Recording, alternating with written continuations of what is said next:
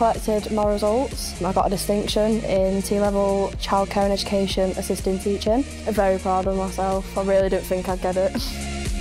Pretty awesome, I guess. I feel chuffed. Yeah. no, yeah, I feel great. I was looking forward to BBB, but I was able to overcome that and get two A's and then B also, all because of the, the peers around me and the teachers and the environment. Great resources, great teachers, great people, great environment. Diverse, interesting Absolutely. atmosphere and people. The tutors are amazing and they've supported me through everything. I knew no one when I came to the college, so making friends and meeting such supportive people really helped. I'm going to York University, mm-hmm. been accepted.